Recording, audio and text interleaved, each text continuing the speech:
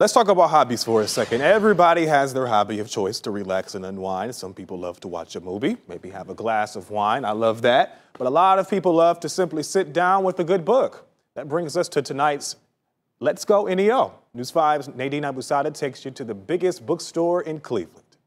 A book can be many things. Simply a story, I picked up a book about um, graveyards and cemeteries.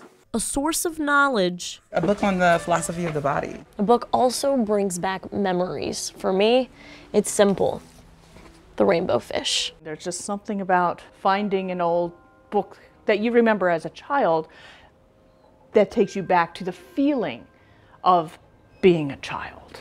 Puff, puff, chug, chug went the little blue engine. but for Harriet Logan, I think I can, I think I can, I think I can. she's always loved the words on the page. Up, up, up, faster and faster and faster. When did you fall in love with books? Was there ever not a time? As a reader, the, the first author I remember just chowing down on at length was um, Robert Lawson. And at Loganberry's books, I was 28 when I opened the store 28 years ago. she's got more pages How many books are in here? 110,000, give or take, we're still counting. than she or her friend Otis Otis is our champion greeter. can count. Every type of book you want. We have some beautiful illustrated books. In the store, there are books that are rare, And we have three shelves of first edition Arkham House. new and old, He's one of the golden age illustrator.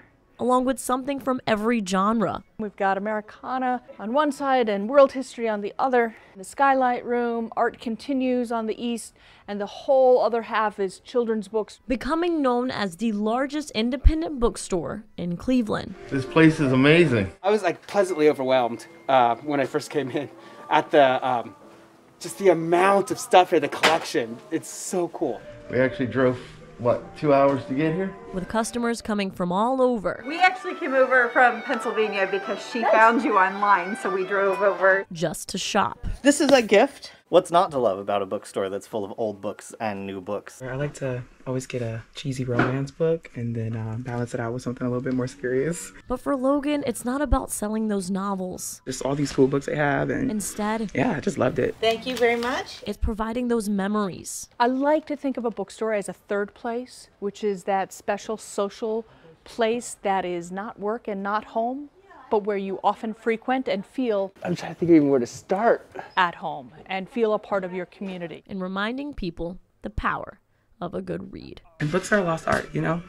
We're like we're losing the losing the art here, so I think it's cool that they're here and um, they're almost at 30. Reporting in Cleveland, Thank you. You too. Nadine Abusada, Hope they are here forever. News 5.